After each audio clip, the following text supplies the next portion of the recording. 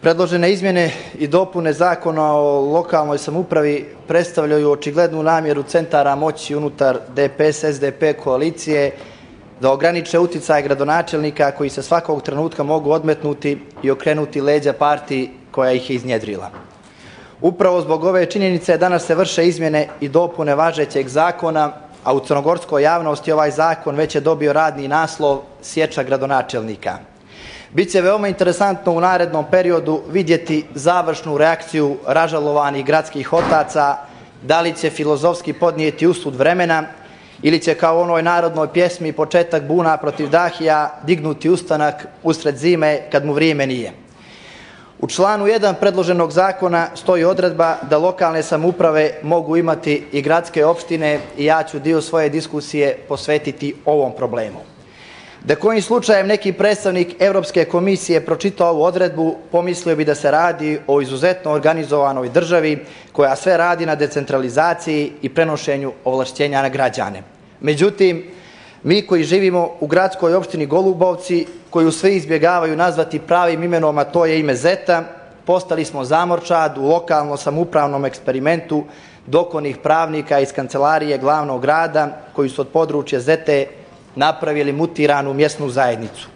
Područje u koje se ni kontejner ne može postaviti bez prethodne saglasnosti Mugoše doktor Miomira, a najveća kapitalna investicija svih ovih godina su semafori u centru Golubovaca koje isključuju za vrijeme sezone.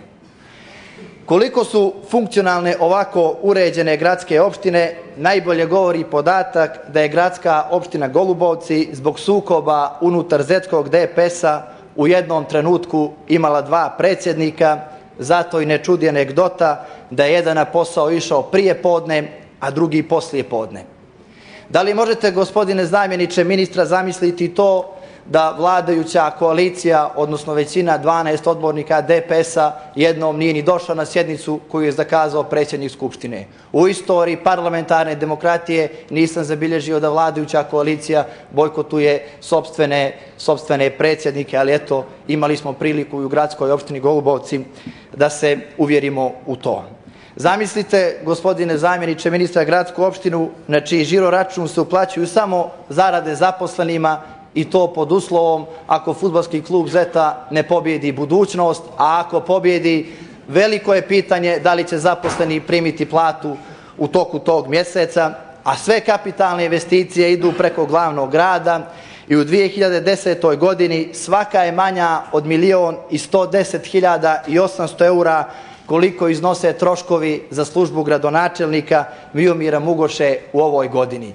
Jedna od najvećih kapitalnih investicija na području Zete je raskrsnica u centru Golubovaca za koju je gospodin Mugoša sa svojim finansijskim ekspertima odredio 200.000 evra i uključujući i rešavanje imovinsko-pravnih odnosa na tom potezu.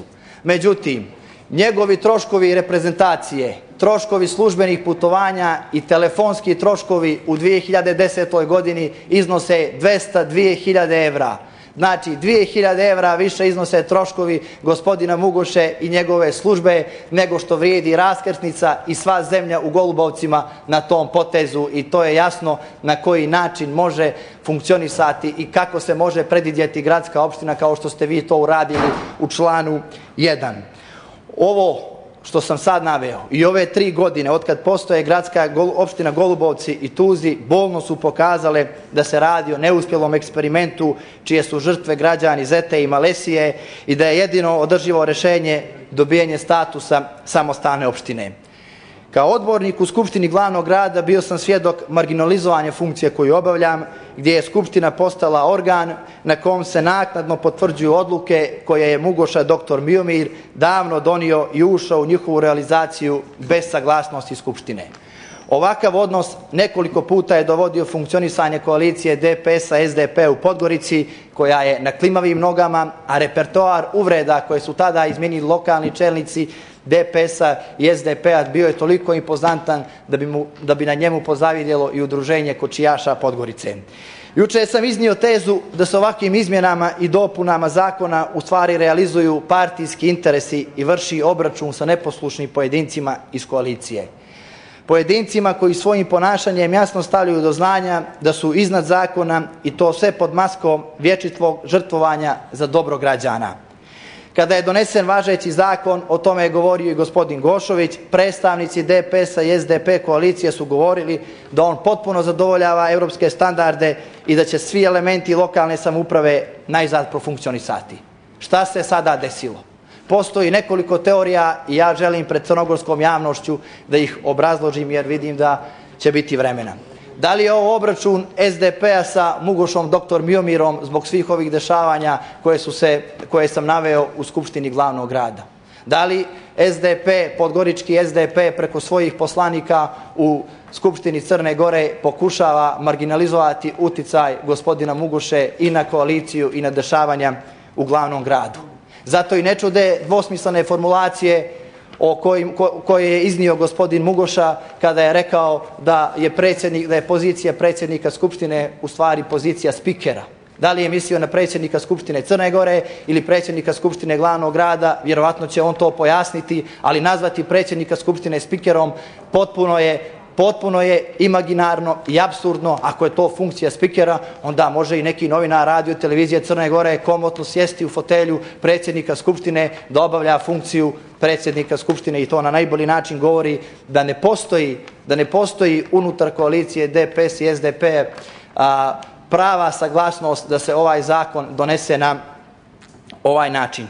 Također jedna od teorija je da se SDP uželio mjesta gradonačelnika u nekim opštinama jer do sad nije mjesto gradonačelnika niko pokrivao iz socijaldemokratske partije. Da li je to moguće? Da li je to jedna od teorija koja potvrđuje predlog ovih izmjena i dopuna koje mi danas vršimo? Evo vidimo, ovdje se i postavljaju uslovi da amandman jedan koji je podnesen da na mjesto administratora može biti imenovan lice koji ima visoku stručnu spremu, a ne mora imati završen pravni fakultet. Da li to ide u pravcu nekog unutar koalicionog dogovora, vrijeme će pokazati. Naravno, ne možemo svi biti pravnici, nisam ni ja pravnik, ali Boga mi kad vidim kakvih sve pravnika ima, ostaću nedorečena. Ko garantuje, gospodine zamjeniče ministra, da neće ponovo doći do izmjena i dopuna ovog zakona?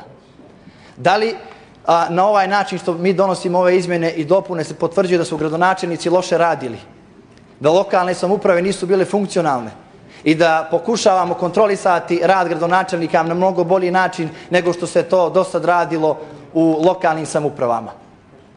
Da li ćemo ponovo, ako dođe do nekog animoziteta ili rasprave unutar vladajuće koalicije, se naći u situaciji da ponovo dođe do izmjena i dopuna, pa da se uvede odredba da predsjednik opštine može biti doživotno.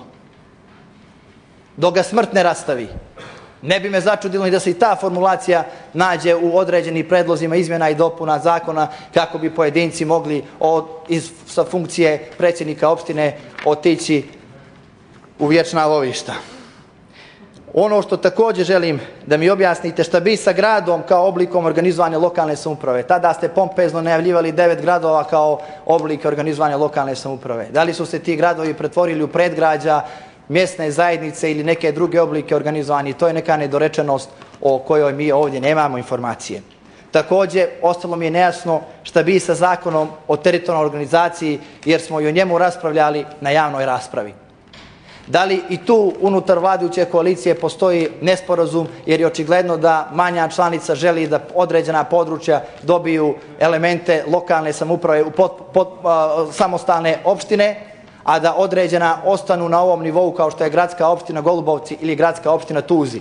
Sada vam poručujem gospodo iz DPS-a i SDP-a u kakve god izmjene ulazili Nemojte da se igrate sa interesima 17.000 građana Zete i njihovim pravom da dobiju status samostalne opštine, jer po svim privrednim i prirodnim, resursima mogu da budu jedna od vodećih opština u Crnoj Gori. Juče smo pričali o, istorije, o, sto, o istorijatu Crnogorske države i ja mogu sa pravom i sa ponosom da kažem da je upravo na području Zete se nalaze začeci Crnogorske države.